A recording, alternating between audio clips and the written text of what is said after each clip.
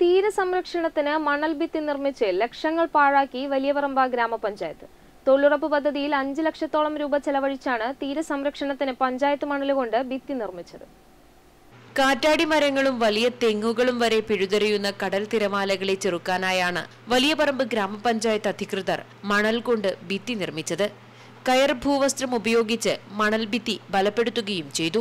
എന്നാൽ തിരമാലകൾ അടിച്ചു കയറിയതോടെ വസ്ത്രം ഉരിഞ്ഞുപോയി ഭിത്തി മാത്രം ബാക്കിയായി.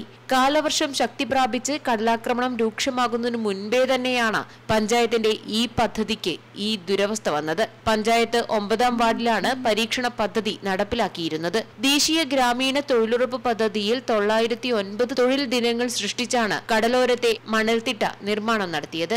നാല് ലക്ഷത്തി തൊണ്ണൂറ്റെട്ടായിരത്തി തൊള്ളായിരത്തി പതിനൊന്ന് രൂപ ചെലവഴിച്ച പദ്ധതിക്ക് ആറുമാസമേ നിലനിൽപ്പുണ്ടായുള്ളൂ. തീരശോഷണം തടയാൻ ദേശീയ ഗ്രാമീണ തൊഴിലുറപ്പ് പദ്ധതി ഉപയോഗപ്പെടുത്തിക്കൊണ്ട് വലിയ പദ്ധതികളാണ് വലിയ പറമ്പ് പഞ്ചായത്തിൽ നടത്തിക്കൊണ്ടിരിക്കുന്നത്. Network news Trikaripur.